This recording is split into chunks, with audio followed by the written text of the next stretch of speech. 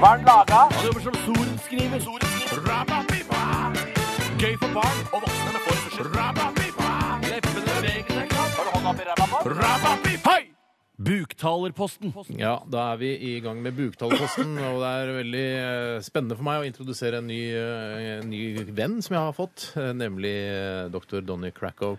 Eh, kanskje du vil introdusere deg selv, Danny? Ja, det kan jeg godt høre. Jeg heter doktor Danny Krakow. Jeg er professor i mikroskopi og liker å kikke på ting i mikroskop og skrive avhandlinger om det. Steinar, kan du Ja, er bra, han kan du spørre han hva mikroskopi er for noe? Ja, for det er mange som skjønner det sikkert, Danny.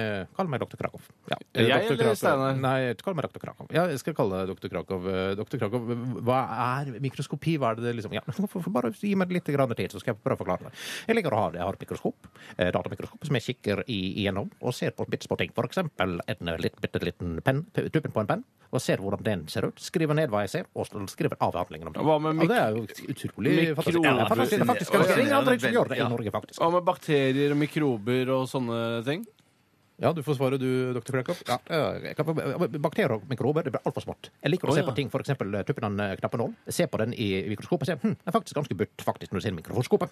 Ja, det er, det er, det jo det, det, det er en av de tingene du har funnet Eh, ut? faktisk, og det, og det er skrevet med en avhandling. Bitte små ting, slik jeg ser det, som en avhandling på 250 sider. som er skrevet. Hvem er så, så mange sider liksom bare for en eh, sånn Ja, det er faktisk ganske, det er ganske bra gjort av meg for å få så mye ut av bitte små ting. Men vi skal spørre Danny direkte. Ja, det får du spørre han om. Går det, Ja, Danny. Går greit? Ja, kom bare spør meg direkte. Hva, hva, hva du er hvem, Presentere Bjarte. Bjarte, hei. Eh, Hvem er det som leser disse avhandlingene? Jeg leser det selv og legger det på nettet. og skriver, eh, og Det er mange klikk og mange treff på den. og jeg, Blant annet så foten til en liten flue som jeg klippet av. Kikker på den mikroskop tenker oi, for en utrolig stor skop. Eh, liten, stor eh, fot den hadde, lille fluen. Steinar, kan, du- kan du høre meg? med, jeg Steinar, hør med Hvor gammel er Danny? Uh, jeg jeg, er du ikke 49?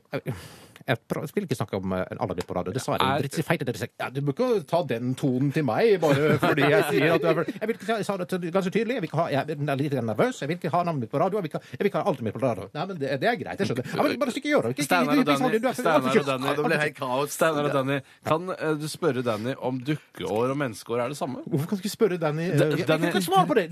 Drit i å spørre tjukken først. Jeg vil snakke, jeg vil snakke direkte med i Ja, Danny. Danny, hører du meg? Jeg hører deg. Jeg sitter og ser på deg.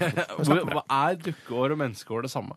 Dukkehår og menneskehår. Nei, dukkeår og menneskeår, Ja, altså det er det jeg lurte på. Det var det jeg trodde du spurte om. Men dukkehår og dukkeår uh, Dukkehår og menneskehår, det er to forskjellige ting. Ja, det virker som det er fri improvisasjon. Dukkehår, det er garn. Mens menneskehår, det er hår. Ja, men Ja, dukkeår det tror jeg alle skjønner. Du trenger ikke å være professor for det. Slapp av, tjukken, for. Danny, Danny, det var ikke det jeg spurte om. Dukkeår. Hvor langt er et dukkeår? Akkurat som hundeår. Et dukkeår 15 år. Ok, så Oi! Så jeg kommer til å Og du dø- er 49 Ja, kommer til å dø i løpet av et par minutter. kan du si. Yes. Fy Har søren. du noen gang sett på en uh, gresshoppbein i mikroskop? Så En gresshoppebein? utrolig stort ut. og Fantastisk. Jeg har skrevet en avhandling om det. Du kan lese på internett. yes. Det var Har du en Ok. egen nettside? Ja, det er doktor, doktor, doktor Krakow, med skrevet på krakkmåten. Altså ikke, ikke Krakow, men Krakow, altså som, sk- som narkotikastoffet. Eh, dot org. www.drkrakow.org. Ja, jeg tror det er det han prøver å si her, Tore. Jeg, jeg orker ikke prate med så ignorante intervjuere. Det, det, det er bare tull og fjas. Basse, si, si tusen takk til Danny. Tusen takk for at du kom, eh, doktor Danny Crackup. Takk for at jeg kom. Jeg syns det var utrolig irriterende å være her. Skulle ønske jeg var her i norgesklasse isteden. Ja, samme det. Ha deg ut! Sånn. Oi sann, hei, sparker. ja. Ah, fy fasan.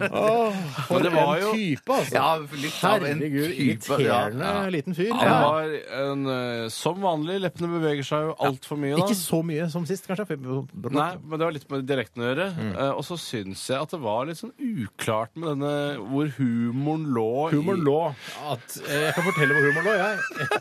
Jeg skal egentlig ikke gjøre dette, men jeg kan fortelle at humoren lå at han liker å se mikroskop, men han liker ikke å se på så for små ting. Men bare Å, ja. ting som er, er sånn eh, tuppen av en eh, Ja, penn, for ja, eksempel. ja, Det ja, er morsomt å se Det ja, på. kom ikke helt fram for meg. Nei, Altså, altså, her hvor snakker humoren du lå. tydelig. Men det er fordi jeg prøver å, å knipe igjen leppene også. Ja, det skjønner jeg. Det er ikke lett. Eh, Er det terningkast der? Ja, eller? det Ja, ja, ja, Jeg ja, må ja. nok eh, kanskje innrømme at det er det. Ja, jeg må gi tre til to. Altså. Jeg nei, ikke... Nå er du ferdig! Ja, Få høre ja. terningkast. Jeg vil ikke gå. Hør terningkast på dette. Jeg, jeg må nok gi en knallvanlig treer, jeg. Kjempefornøyd med. Det er kjempefornøyd med. Veldig bra. at du har sagt. Ja, Tusen så takk. bra. Ja, det er en påkjenning med buktaling. altså. Det er en det er en påkjenning. påkjenning, ja. Jeg skal brenne dokka etterpå. Ikke brenn meg. Jo, jeg skal gjøre det. Kom deg ut! Ja, ha det bra. Ha det bra.